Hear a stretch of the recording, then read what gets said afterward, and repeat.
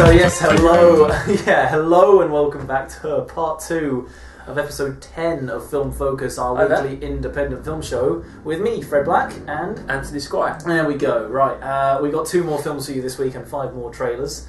So we'll get started with our first diabolical film called uh, Trespass. Trespass. Now, now, Joel Yeah. Schumacher, he directed Joel this Schumacher film. directed it. Like, We've Joel, got Nicolas Cage didn't you and learn- Nicole Kidman. Joel, didn't you learn anything from Batman Forever? Well, Batman Forever was a terrible film, Yeah, exactly. so it Learned where not how not to do things. I mean, come on, no, he Nicole, obviously didn't. He obviously Nicole didn't. Kidman, you worked with him on Batman Forever, didn't you? Learn anything? What is she, is she? Who is she in Batman Forever? Oh, she plays the doctor. Um, the, no, not doctor, the psychiatrist. a psychiatrist trying uh, a psychiatrist psychiatrist trying to analyze Batman. That's going to work, isn't it? Yeah, it. I mean, I'll give Joel Schumacher credit for Batman and Robin. He just went. He knew he messed up on Batman Forever, so he just went full out. on yeah, but he didn't know he messed up on this one, obviously, because he was trying to play it fucking serious all the time. In And it's short, such a a bad couple, Yeah, Nicolas Cage and Nicole Kidman, are held hostage in their house. yeah. Well, they're held for ransom, really. because uh, yeah, essentially Nic- Nicolas Cage manufactures diamonds, sells diamonds onto other people, Yeah. like handles those sorts of things. They're a big fancy mansion out in the middle of nowhere in America. And yeah, some burglars come in and have been spying on him for some time and know he does the diamond stuff. And there's all sorts of revelations that come to pass, which yeah, and essentially they just try to steal stuff from It's him, a and it goes wrong. The pace was bad. You have to interrupt the plot. It's a bad film, and it's very rarely you admit that with a film. I must admit. It was just so bad. It was bad. this is interesting coming from a man with Mega Shark versus Giant Octopus in his collection. That's so, that's so bad. It's good. The aeroplane scene, but no, so- Mortal Kombat is so bad it's good. Mega, I bit admittedly I haven't sh- seen Mega Shark versus Giant Octopus, but yeah, uh, yeah, you pass judgment. I pass judgment, of course. People pass judgment about films all the time. I know. I was just kidding. Yeah, that's all right. Uh, but yes, this film is. Um, Bad. incredibly bad. I don't quite know how to kind of explain how it's bad without giving anything away. I mean, The story, the the pace of the film was bad. You lose interest, or you just think, "What's the point?" Yeah, because it doesn't really do anything, does it? You get the burglars in the house interrogating and beating up Nicolas Cage and Nicole Kidman, Mm. which admittedly is kind of fun, but um, you they don't do anything with it because there are several revelations that come to us. aka, you know, you don't have certain things pop up. You know, you expect certain things to happen, they don't happen. So you have to kind of twist the plot into certain places. Yeah. And to be honest, I always felt that given a different director or a different writer, I think They it could have been a lot better. well, it could have been a lot better. But then it No, sorry, that's the wrong word. It would have been a lot better. or any anyone anyone else working on this film, it would have been a lot better. But if you had like a different, yeah, if the scriptwriter wanted to, he could have very easily gone into torture porn, kind of Saw and Hostel style stuff. Because near the end of the film, it does get there. There is a scene, and this is really isn't ruining much, I guess, but he nails some guy's feet to the floor oh yeah. um, literally with a nail gun, he just goes, it just like fires six nails through, you know, each of his feet, and you're just thinking that's really unnecessary. I think they were just trying to save the film. Well, Joel Schumacher realised what was happening. But it didn't. It did. It No. could, in anything, it just brought it even even more because No. even more down. It I was did actually- not save the film at all. No, because it brought him down even more. Mm. But because I was thinking about giving this film like a four or a five, like because it was kind of average and it wasn't really doing much for me until that point. And then you know you have this guy getting his feet nailed to the floor. It's just like, "Ew." he's like, It's just the choice Nicolas Cage makes towards the end of the film. mm. I, oh, obviously, I can't mention it. Because we can't mention what happens because it's like.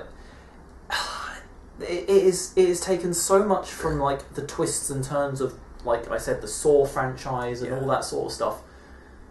That it tries to be a lot cleverer than it actually is, and if it played itself like a straight robbery movie without trying to put in the backstory, put in any other kind of character development, it probably would have been quite thrilling, and you could have taken it a lot further.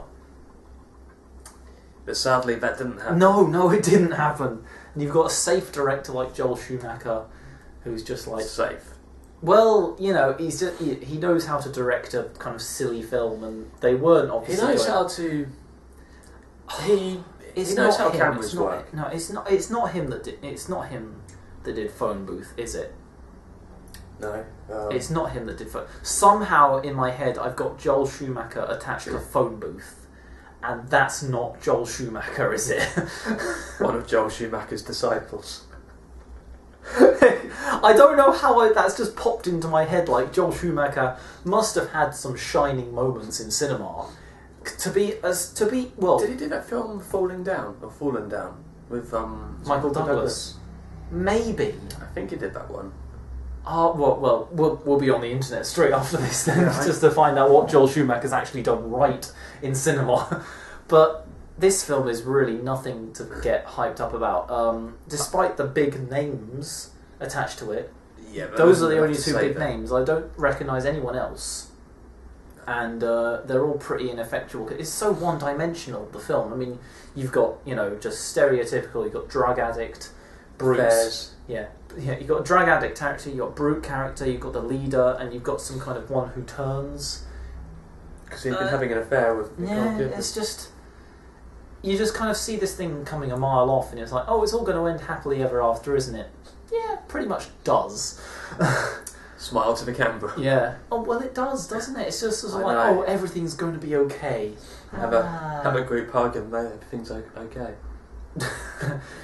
You have no idea how accurate that statement is. Um, I gave this a four out of ten. you were fucking generous with that, mate. I You were generous there. I stick with the four out of ten. No, I stick with a two, a solid two out of ten. As in, fuck this movie. it was so bad. I was sitting there like bored out of my mind and just like, yeah, he's gonna do that, isn't he? Yeah, he is. Okay, he's done that. That's Yes, it was painfully predictable in Yeah. parts. Ah, I just can't. I'd love to say something like putting that to one side, but There was I can't. no. It was so kind of bland and predictable and boring, and you couldn't put anything else into it other than you know. just the way the daughter goes from being a rebellious teenager to suddenly, Daddy, help me. Well, yeah, that's one of the minor points of the film. I mean, the characters are all just kind of like you know interchangeable. They they just switch their personalities at a moment's notice. Yeah. Nicolas Cage suddenly becomes like you know scared businessman, like being robbed, to interrogator and negotiator, and you're like, how did you do that? You don't have any sort of training in that sort of field. There's no like you know ex-military background for Nicolas Cage in the film, No. and he suddenly turns negotiator, and he's like, I can work with this guy, I can do this. And it's like, no, you can't. You're going to get the shit kicked out of you. It Come is- on, Nicolas Cage, Nicole Kidman, why?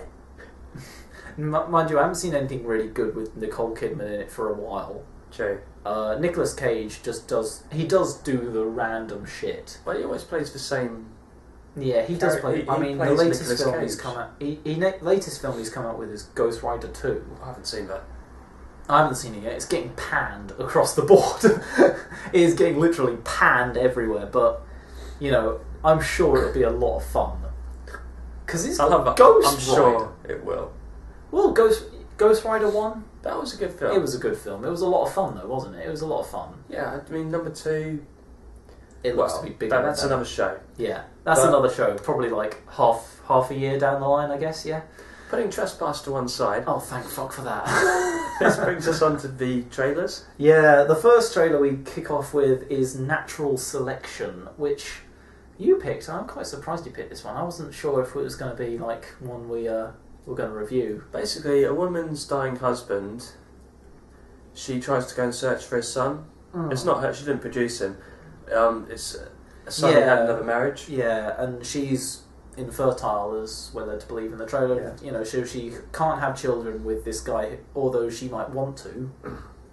And so she goes to try and reunite the son with his father, and have a family unit, it seems, and obviously problems arise Well, yeah, I mean, because the son is a bit of a bastard. it looks like an average trailer. You know, uh, some drama, a pinch of humour thrown in. Very little. Oh, there were some. Yeah, there was ve- there was some, but I said very little. It looks more like a drama than you know, kind of. I wonder if we'll have a mega happy ending, the group hug. Oh, maybe. You never know with a group hug. it can cut- it can strike at any minute. When you least expect it. It's like, no! yeah, no group hug. No, don't want it. Moving on to the next trailer. oh yeah, well there wasn't really much to say about that, was there? What, Badass? No, natural Selection. Oh, natural selection. No, it, It's just pretty it's, it's going to be hit or miss. I, I I'm think curious about it, so I'll probably end up watching it when it comes out. Hopefully, it'll be better than Trespass. Oh, anything. There's lots of things that could be better than Trespass. There might be some evil director out there listening to us right now. You know, Uwe Boll. Have you seen any Uwe Boll films? oh my god. I, we, we might have to do like a season when we change the show around Yeah. and do that. An Uwe Boll season. I did write him down on the list of directors we were going to do, and I, I put like Boll. I was like, question mark, question mark, question mark. Is like, it B movies he does? What's he done? He's like the House of the Dead, like um, Oh my god, House of the Dead. Dungeons and Dragons in the Name of the King with Jason Statham. He is literally he's credited as the worst movie director ever, ever. Just like ever in the history of time, he is the worst movie director. I can't remember who the director of Troll 2 was, but if he can do something If worse yeah, than if Troll he can 2, top Troll two, then I will be thoroughly impressed. Um, but yes, moving on to our next trailer. We tried to do this a minute, a minute ago. Uh, what was it Badass? Basically, you've got Danny Trejo back as someone who's just. Danny Trejo, like the god of men. Uh, machete. Yeah, he's Machete, and he's even Machete in Spy Kids, which Yeah. I pointed out to you a few weeks ago. That was awesome. If you look, watch Spy Kids again, you will notice that Danny Trejo is in it, obviously, Hmm. and he plays a character called Machete. Now, Robert Rodriguez made Spy Kids, he made Machete. That's not right on any level. Well, you know, nothing like a bit of variety. No, it's not. It's just the, the thing that that guy has done in Machete, and now you put it into a family kids film. I just love that scene in Machete, the guy's lying on on the floor. Please, Father, grant me mercy. God has mercy. I don't. but badass. Yeah, badass. He plays like a what 60, 70 year old, like a senior citizen, retired guy, and he just I don't know the law what into his own hands. Basically, he's got it seems that way, doesn't it? the trailer. You see him having happy memories, then suddenly it just cuts back to the present. Oh yeah, he's like he beats up some guys on a bus. It's like you know, I don't know how what why they start on him, but he just beats up some guys on a bus. He's like, I don't want to fight. I don't want to fight. And he beats the shit out of them, and he goes, Yeah. "I told you I didn't want to fight." um, but yeah, it, it's gonna be fun. I, Yeah, I, I want to watch this one when it comes out. This will be this will be a definite kind of like top film to rent when we get it. Whenever we get a chance to get our hands on it, it's going to be like the priority watch. I think we might have to fight over it. That'll be funny. fight over it. Well, which one of us gets to watch it first? Because we split the films, don't we? We won't fight over it. Sorry, this brings us on to the next trailer. Next trailer. Oh, what is that? Intruders. Oh, intruders. Oh, Intruders. Basically, you got some schoolgirl making up a story about um, a hollow face man, but then for some Mhm. reason the hollow face man comes real. Yeah, he come. He, the story she's telling comes alive and starts attacking her family. Mm. Attacks her brother, attacks her father, and attacks her as well. The in, the thing that kind of connects me to this film the mo- most is it's from the guy who did Twenty Eight Weeks Later, Oh yeah, and that was a good film. Have you seen that? it wasn't as good as Twenty Eight Days, but it was Mhm. still a good film. No, it was. It was still a very good film. I mean, the best scene in it is the scene in the subway Yeah, where they have the night vision camera in the subway station. yeah. Unfortunately, that's the scene that's directed by Danny Boyle, who did the first one.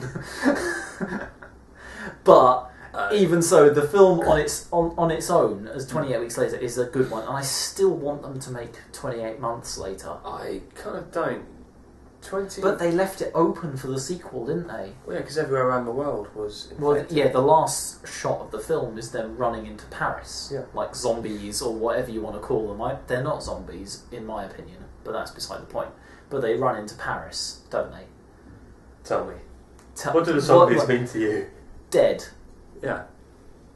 No one in 28 days later is dead, are Oh, they? No, they're just um, They're not dead, seriously are they? drugged. Well, not drugged up. They're just. No, they, they It's a could- virus. essentially because you have that scene in the first 28 days later where you have uh, was it what's his name? The monkey.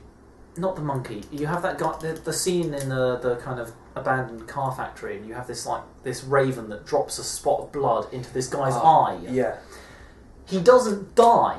He just goes He, insane. he yeah, he um he I think it's Brendan Gleeson. I think it's Brendan Gleeson because he gets a drop of blood in his eye and then he turns into one of the infected. Mm. Therefore, he does not die and then become a zombie or you know become infected. So therefore, he is not a zombie. They are not zombies in Twenty Eight Days Later. But that's beside the point. We're completely Wait sidetracked. till you find. But that is the oh, that's pissed me off about that film. Anyway, No. but Coming back to was it Intruders? Intruders, yes. Um, Hollow Man. Uh, but Hollow. The ho- yeah, it is Hollow Man. Hollow Face is what they call him. There were some images in the trailer that looked like it could be quite a scary kind of film, like this girl's mouth like closing up Matrix style, and you know face being erased and everything. It could be. This is another hit or miss. With horror, it's so hard to get it right. True. It is so hard to get horror right these What's days. film we saw a couple of weeks ago? Oh, it had um, Jim Robinson from Neighbours in it. Don't be afraid of the dark. Yeah, that was awful. That film. It was not awful. That was actually very good. I, and I stand by that. If you want to see a good horror film of the past few years, Don't Be Afraid of the Dark would probably it just, be it just got funny when Jim Robinson came into it. I got thinking, yes, Jim's back. Sorry, Alan Dale. Yeah. Anyway, badass, good. Was it badass? No, we were talking about Intruders. Intruders. Intruders looks interesting. I'll probably watch it when it comes out, even though it's got like you know Clive Owen and everything like that in it. It's I, just I'll see how it goes. How I feel at the time. yeah. Uh, we've got two more trailers now. Uh, the next one is Good for Nothing. Ah, Western. Every scene, every every every screenshot is basically. Yeah. Well, yeah. It's it's a bit it's a bit weird, and the you can't help but notice the quotes that come up across from critics and everything. And there was one quote that dominated. It was like it was um, a kind of Kiwi Imagine Western, filtered through like offbeat comedy, Yeah. and then put through Sam Raimi and Coen brothers. And I was just like, ah, it sounds interesting, but now that you've put Sam Raimi and Coen brothers and you know Yeah. all these other influences in my head, I'll just be thinking of those when watching the film. Oh, I see. There's yeah, they've clouded it. Yeah, you just be like, you know, okay, is this Sam Raimi? Is this the Coen brothers? Are they trying to mimic it, or are they doing something completely different? And it will be one of those things where you're just like, eh, it's not actually a good film on its own. It's just marred by these people's influences. It was an average trailer. It was. Yeah, you just ignore all that. Yeah, it was average. I'll wait and see when it comes out. Mm, yeah, it didn't really kind of give too much away. I thought I was still confused about what it was actually going to be about, like uh, some Lone Ranger kind of thing. I mean, it was good in terms of it didn't give too much away about the story, but then it's a western, so you've pretty much already worked it out from the start. Mm. You know, I the, guess the so. loner gunman. No one likes Yeah. him, so The man, the man with no name. It's, it's the classic, you know, Clint Eastwood, the man with no name, that sort of stuff. Which is also something we've got to do in our new show, Clint Eastwood season. I don't Yeah. anyone would be. A, yeah, exactly. A Clint Eastwood season. You've got the spaghetti. Oh, spaghetti Dirty western, Harry. Dirty Harry. I bought I bought my dad Dirty Harry for Blu- on Blu-ray the other week. It's such a good film. it's so good. Um, but yeah, cl- putting that to one side, our last trailer, we got really distracted with all of these. our last trailer is the is it the only documentary to feature this week? I forgot. No, Um, um, in the last show. we had no, Bully. no, it's one of two. Yeah, we had Bully, didn't we, in the last one? Uh, and this one we got Unraveled. I which didn't is- like this one because he Really? basically got a con man who's. This documentary was it the last sixty days? of his house. He was under house arrest for a long time, it seems. And the last 60 days of his house arrest, they filmed him. Yeah, They essentially just let a film crew in and. he's making he's still making money off it and I didn't like it because he just kept saying to the camera oh I, I don't know if I should have done what I did and I kept waiting for him to say But you know what? I'm making some money off this film, so I'm glad. Uh, I don't know. I, I think the way he was portraying it in the trailer seemed like everyone has the temptation to do what he did. Yeah, he was, he was Everyone has- vote. He was playing for the sympathy vote. Well, he wasn't because, well, in He my was. opinion, he wasn't because he said like, "I did it. I don't. I don't like what I did. I wouldn't do it again, probably." But you know, it's, a bit it's late now. yeah, I know it's a bit late now, and he's going to prison for. the American government recommended he should go to prison for what 145 years. um, that was a little harsh, I imagine. I don't know exactly how he defrauded everyone. I mean, it explained it all in the trailer, but Mm. I can't far back. Um, and it was all very like him trying to explain what he did, and he's still he's got sons, he's got like a family and everything, but they still seem to kind of operate as a family unit. Um, yeah, well, they're still making money off him. I might be being a bit too cynical here, but maybe. Yeah. um, I don't. Yeah, I know he's probably he's probably guilty. Of, he is obviously guilty, He's of what he's done. So he's a bad man, but he's not trying to justify what he's done. He obviously, you know, he's playing the sympathy vote. He's not like the guy in Tower Heist where he's just like, oh, I tried to play play play innocent, but I'm really guilty. He Yeah. knows he's done bad. He Mm. knows he's guilty, so he's just you know telling it all. And I th- I I'm, I want to seek this out and kind of watch it when it's released and when it's on DVD. I I'm not in a rush to see it. It just this looks like some fraudster. Boo hoo! I got caught. Oh, but I can make some money if I sell my story. and It's it's, the thing is, he was saying like you know most people in the situation they in like kind of criminal situations like they either don't do it if they are No. too afraid to do it or they know they'll get caught. Yeah, they're too afraid they'll get. And he was like, I didn't know that. I didn't know if I would get caught. I didn't know if I would, you know, if No, I if I was too afraid to. I just kind of like, yeah. He's playing the sympathy vote. Well, he hooked me in. Then he hooked me in if he's playing that sympathy vote. Um, and I'll probably end up watching it. So that ends our trailers. Fairly mixed bunch. Bring us on to the last film. Yes, probably. Actually, no, it's not my favourite film of the week. I would say Tower Heist was probably my favourite film. Although this runs a very, very, very close second. I think this is my film of the week. Really? Okay, it's a Machine Gun Preacher, which I've been talking to my friends about at work for a while. Hmm. Um, because they were talking about this um, Facebook operation to uh, kind of destabilize Kony. Hmm. Um, I don't. You've probably, if anyone's watching this, you've probably seen the things on Facebook saying like, you know, Kony 2012, the videos that popped up. Uh, but Machine Gun Preacher is the story of Sam Childers. Sam Childers, a former drug dealing biker who finds God and basically became a crusader for, for the children in Sudan. Yeah, he builds like a. Well, he goes to Uganda first of all to build like a like just with his building company Yeah. to like rebuild some houses and stuff like that, and he uh, gets interested in what's happening in Sudan, and goes up to Sudan and gets so influenced by what's happening over there, like you know, so kind of wrapped up in the terror that's going on over there. There were some pretty powerful scenes in this film. They are, and he and he decides to build an orphanage for the children, um, and he decides to just like fight Kony his own way and just like you know save children and make them happy again. It is a fucking powerful film. It's a I very will- good film.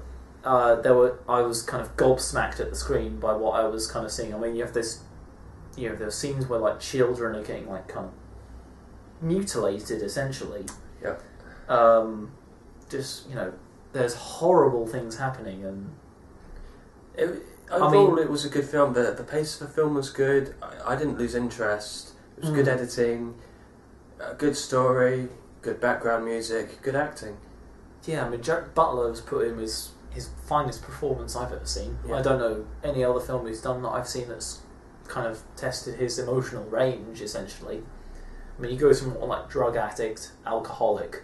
So suddenly really believing in to God. believing God, and but I the like kind of uses- passion he Yeah. puts through in it.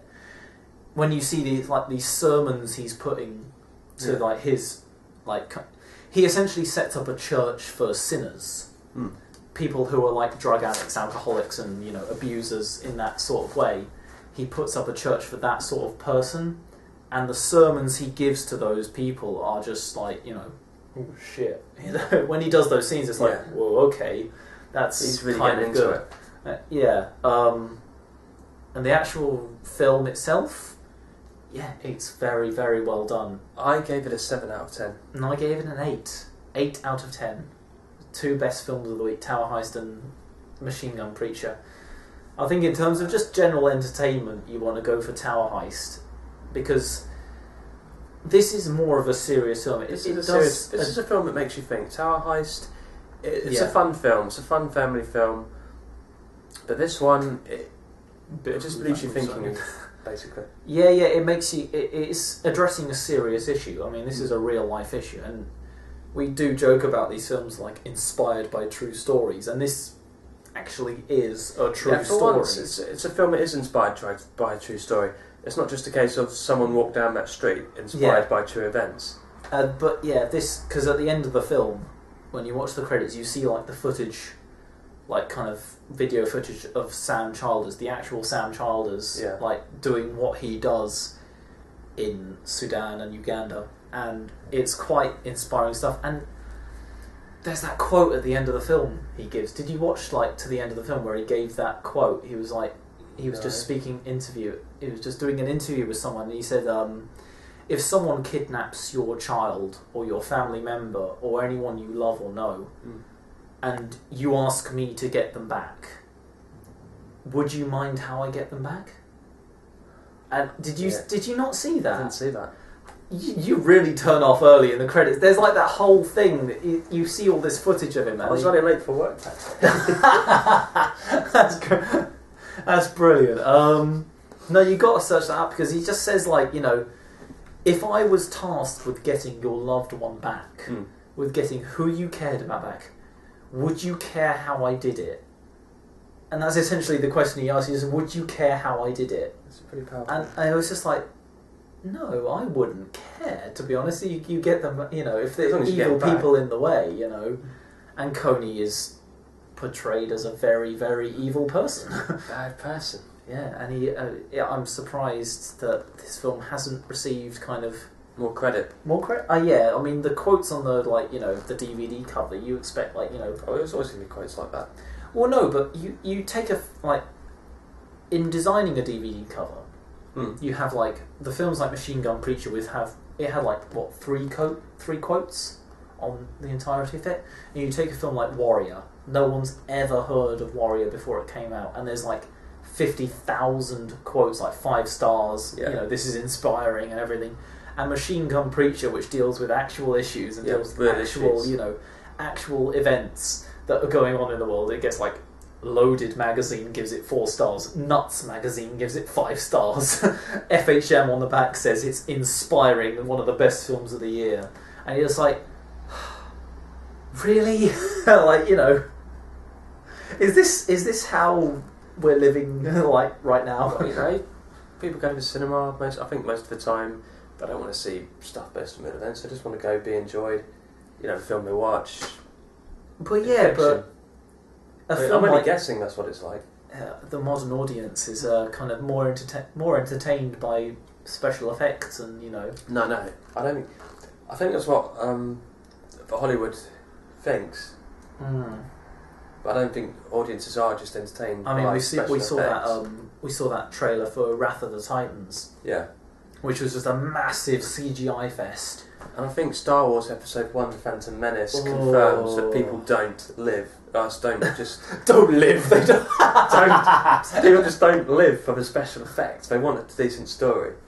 Oh no, no, that was that was an awful film. But yeah, Machine Gun Preacher kind of It's, Preacher. It was it's good. It was- proving that you can make a good film out of real events. Yeah. You know it. It was an inspiring film, but at the same time, it made it made me stop and think. Yeah. You know, Uh, it kind of it, it did actually make me kind of research a little bit about Kony and what's going on over there. I mean, you know, if you do it right, you can actually kind of care about. You can make the Yeah. audience care about what's going on over there. And for that respect, I give it solid eight out of ten. You know, top notch stuff. Really, bar a few points. You know, it's not it's not respect of Wally. it wasn't Fright Night, but I'll fuck off with Fright Night. Oh, that's just a. Oh. Sorry about this. Um, this brings us to the end Yes, of the show. Yes, it does bring us to the end Thank of the show. Thank you for watching. Yeah, thank you very much for watching, guys. I appreciate every single view we get. So, yeah, Take care, guys. thank you very much. See you later. See you next week. See ya. Fright night.